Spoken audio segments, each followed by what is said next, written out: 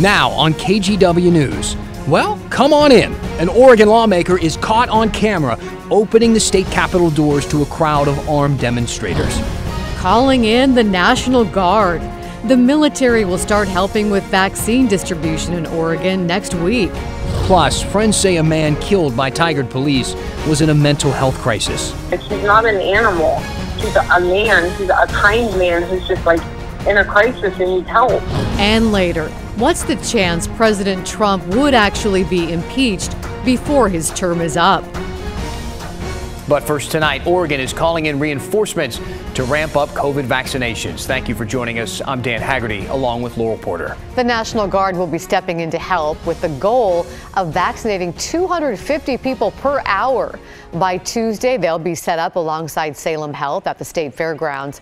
That clinic right now is only for people who live or work in Marion County. And no matter where you go, only people in the 1A group can get the shots right now. And that includes healthcare workers, first responders, and people living and working in nursing homes. The Guard will also deploy mobile teams to travel the state giving shots. In an update from the Oregon Health Authority today, we learn the state has received roughly 250,000 doses of the vaccine and used 73,000 doses. OHA has delivered vaccine doses to 190 sites across the state already. We'll allocate vaccine doses to an additional 30 sites next week, including hospitals, local public health agencies, federally qualified health centers and rural health clinics, urgent care clinics, retail pharmacies, and emergency response agencies. After the 1A group is vaccinated, teachers will be up next. This next story tonight is infuriating. Vandals smashing out windows of a tiny home village that's being built to give shelter to people who are living on Portland streets. Organizers behind St. John's Village had planned to open this month, but as Catherine Cook reports, the vandalism was just one of the setbacks. In North Portland, 19 new tiny homes stand empty in St. John's, but not for long. In less than a month, people experiencing homelessness will move in, more than half of them from the St. John's area. But they'll be moving in a couple weeks later than planned. On December 18th, someone vandalized nearly every home in the St. John's Village, breaking windows and damaging door frames thousands of dollars in damage right before volunteers planned to get them move in ready. The good thing is those volunteers were there and that frustration quickly turned into something positive though because they were there to help. Dennis Theriault is with Portland and Multnomah County's Joint Office of Homeless Services. They help fund the village which is run by Do Good Multnomah. St. John's Christian Church leases the land to them. With so many people involved, it's no wonder few even heard about the damage. We got over it pretty quickly. I think that was the amazing thing. We had, you know, folks bringing donuts and and and their paintbrushes and we just got the work done. But that was just the first setback. Mods PDX, the company that built the tiny homes, had their own unexpected delay, finishing a kitchen and bathroom for the village. Theriault says it should all be ready the first week of February. So, not much of a delay, just a couple of weeks, but we want folks to have the best experiences possible when they get there. When they do, it'll cap off a two year effort to create St. John's Village and serve as inspiration for others like it. No part of this city is spared uh, you know, having folks suffer outside. And, uh, you know, we can make a difference for those folks in those pods. And that's really exciting and something we haven't been able to do enough of up here before. Catherine Cook, KGW News. Flags are flying at half staff in D.C. tonight to honor the police officer who died from injuries suffered during the violent siege of the U.S. Capitol. Meanwhile, police and federal agents are ramping up their investigation into who all was involved on Wednesday. One of the men, seen as the face of the attack, was arrested this afternoon. Here he is. His name is Richard Barnett. He was pictured with his feet on the desk of House Speaker Nancy Pelosi. Dozens have now been arrested, and at least 55 people are facing federal charges. Oregon Senator Ron Wyden was inside the Capitol when the mob moved in. He joined me for a taping of Straight Talk today. Wyden told me he places blame on President Trump and wants to see him removed from office. My view is the president is responsible for the carnage that we saw this week. Look, he spent weeks and weeks inciting this effort. This was not a one time thing where he just tweeted once. He kept talking about a wild, wild set of events in Washington, uh, D.C.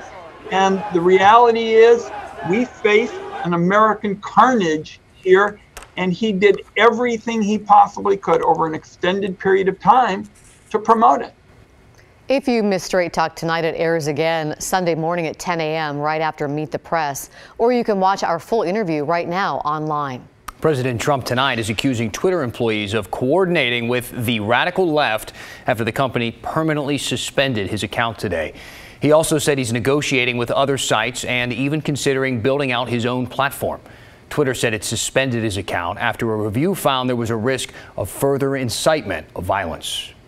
What we saw in D.C. is far from the only shameful behavior that we've seen in capitals across the country. In fact, both Oregon and Washington are upping security now in Salem and Olympia after incidents with armed protesters. You may remember last month when a group of armed protesters got inside the Oregon State Capitol during the special session.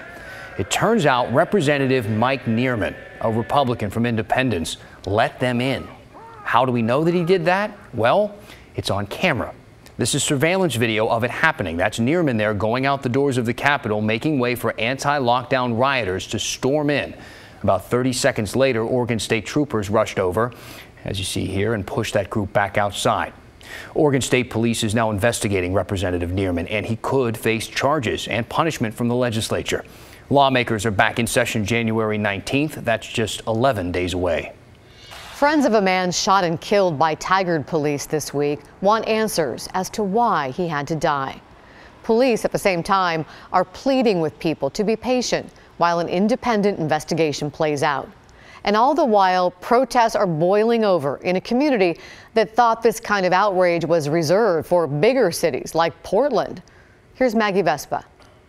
He has been very sick for a long time and has uh, manic episodes. Friends of Jacob McDuff knew he was struggling and feared for his welfare. But this was beyond their worst nightmares. I've known him for two years, and in his mind, I was the only person who loved him. Tigard police confirm an officer with the department shot and killed the 26 year old Wednesday. Police had been called to McDuff's apartment complex on a domestic disturbance. The Oregonian reporting dispatch audio indicates police were warned callers had concerns about McDuff's mental health. In a news release, police said McDuff had a knife and resisted arrest. During a struggle, an officer shot him. Police aren't releasing more details right now. Friday, a memorial sat in front of his complex near Southwest Hall Boulevard and Bonita Road. A search of McDuff's background shows no criminal record. Neighbors told us police had been called to his apartment five times in the two days leading up to the shooting, all for mental health concerns. Police wouldn't confirm that detail. Wednesday, officers were on scene around 4 p.m. Neighbors said police were there for several minutes before they heard shots. I stay put in my house. I don't want to get out. You heard the gunshots? Yes. How many? Maybe I just hear like three times. The Washington County Major Crimes Team, which is separate from Tigard PD, is investigating the shooting. They have not yet named the officer who killed McDuff. We're told that's all standard protocol. Still, police know anger at their profession is historically high. Thursday night, protests erupted in Tigard. People smashed windows at police headquarters and businesses downtown. Friday, police said 10 to 20 businesses sustained damage. At a news conference, while crews boarded up windows behind her, the chief denounced the vandalism and urged people to let the investigation play out. I'm not trying to skirt that. I understand people want answers. Um, However, and this is and, and, it's frustrating for me as a leader of an organization to not be able to give those answers in a timely, but there is a process. There is a transparency. When I say transparency, it's not rushed to, to give information I don't even have. Police expect more protests Friday night. Tigard residents who came to see McDuff's memorial are blown away by this. Because we've been hearing about the stuff down in Portland. Um, but to see it this close, it really like it brings a new level of like how real this is. Maggie Vespa, KGW News. We're hearing the plan from another local school district as many work to bring students back into the classrooms. The superintendent of Vancouver Public Schools is proposing a transition to hybrid learning. Students would be split into two groups. Two days a week, they'd attend school in person. The other three days would be spent in remote learning. The goal is to have kindergartners begin hybrid learning January 19th. First and second graders would begin on the 25th, and third through fifth graders on February 1st. As long as transmission rates in Clark County stay within state guidelines, hybrid learning would extend to middle schoolers in February and high schoolers in March. It is important to note if hybrid learning is approved, parents would still have the option to keep their children in remote learning full time. The school board is set to discuss the recommendation on Tuesday.